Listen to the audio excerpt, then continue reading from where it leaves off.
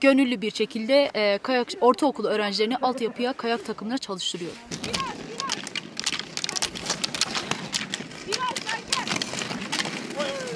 2004 yılında, 2004-2005 yıllarında amcam ve abimin e, kaya başlamasıyla, e, kaya başlamasıyla bende bir heyecan oluşturdu ve ilk kadın sporcu olarak ben kayak sporuna başladım.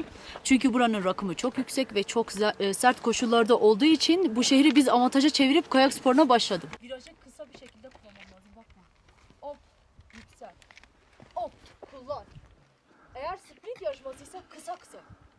2006 yılında milli sporcu oldum. Milli takıma seçildim ve 2006'dan 2013 yılına kadar eee bil fiil Türkiye dereceleri aldım. Birinci, ikinci ve en kötü Türkiye üçüncüsü olmak üzere. Eee, çeşitli yıllarda Balkan birinciliğim, ikinciliğim ve üçüncülüğüm var.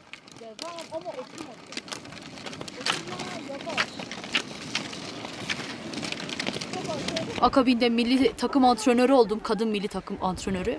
Kendi memleketimde 2016 yıllarında e, beden eğitimi öğretmeni olarak atandım. İlk tercihim olan yer burası. Gazi Ortaokulu'nda. Onun dışında ortaokul sporcuları beraber kayak altyapısını çalıştırıyorum ve 6 ayda Türkiye şampiyonu olan kızımız var. Çeşitli Türkiye dereceleri alan öğrencilerimiz var. Böyle devam ediyoruz. Ailemden daha çok çocukları görüyorum ve gerçekten onlarla büyük bir bağım var.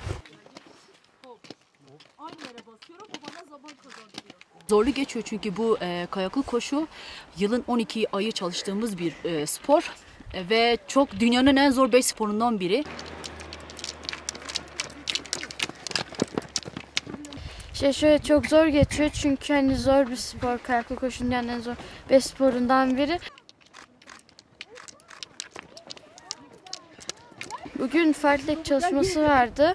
Belirli yerlerde e, 100 metrelik sprintler yani hızlar yaptık.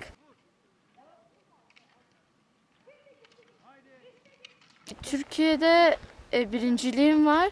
Onun dışında hani ikincilik, üçüncülük e, derecelerim var. Geçen sene Türkiye Kayak Şampiyonası'nda e, birinci çıktım. Rojmi Hoca çok ayrı gerçekten bizim için. Çok bize annelik yaptı. O derece çok iyi biri gerçekten. Antrenmanları oldukça zor. Zaten o sayede bizi buralara getirebildi. Evet gerçekten eski başarılarıyla bize büyük bir örnek oldu.